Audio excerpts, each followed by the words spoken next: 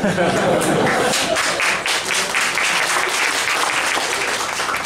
んばんは。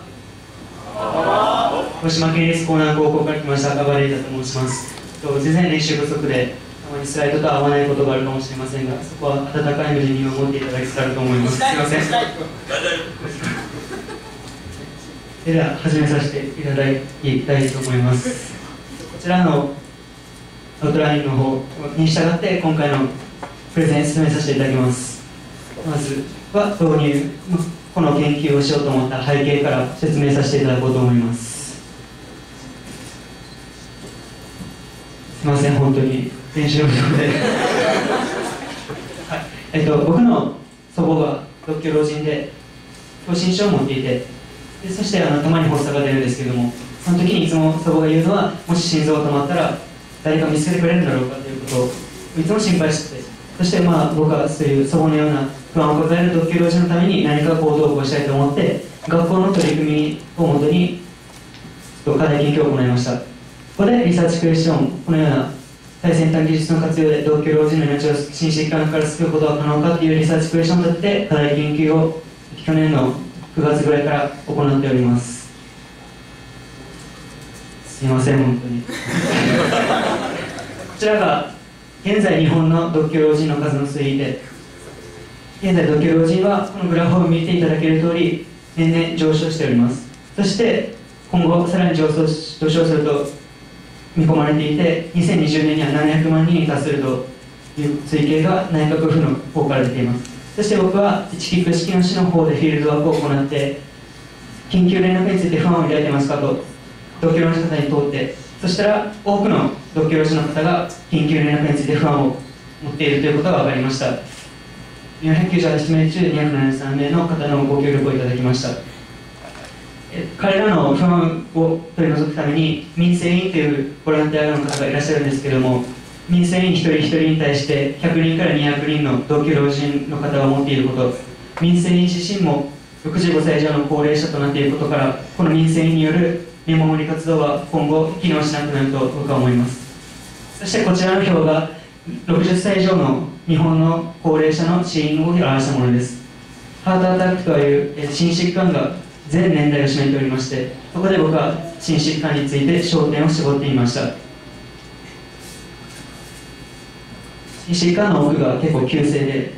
療養するものです。そしてこちらが周囲に頼りのできる人が一人もいない独居老人を表すグラフです。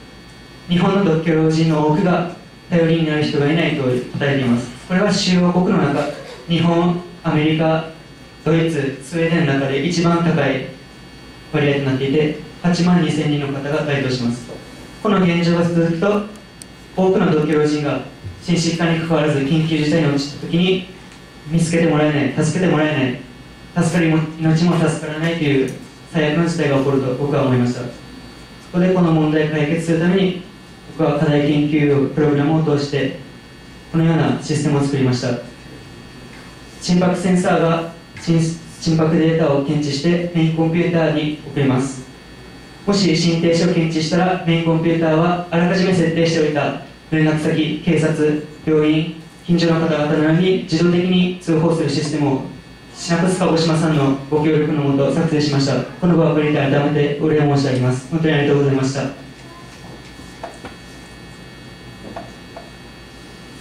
すいません。もうちょっと。え多くの人にこのシステムを使って検証をしていただきました、えっと、これから主に3つの検証結果を挙げると思います。その前に検証方法です。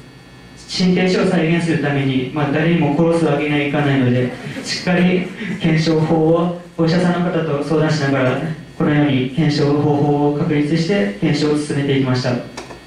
徐脈頻脈通常の脈拍3つの脈拍のタイプを持つ同居老人の方にご協力いただきました。こちらが通常の脈拍を持つ被験者の方の結果です。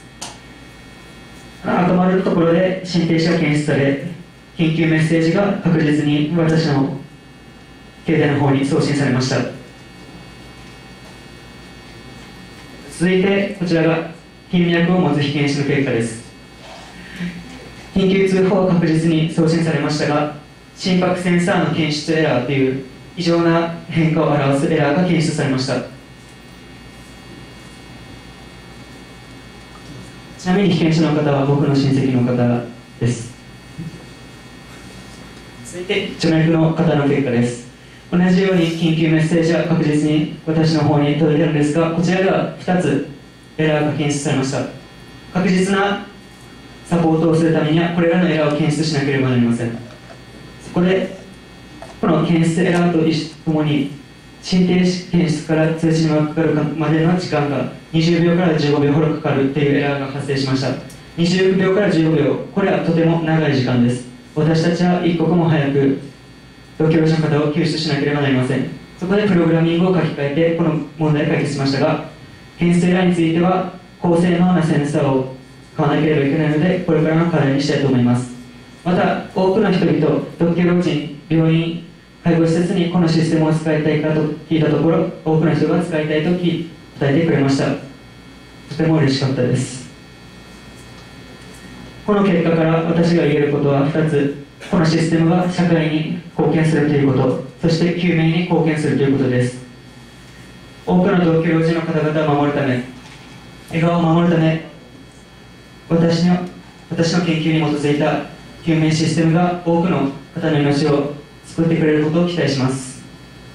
なお、えー、話はすごい変わるんですがこちらが僕の高校で行っているプログラムです。このプログラムにのっとって私は研究を行っていきました。これから3年の3月7月にかけて論文を制作していきます。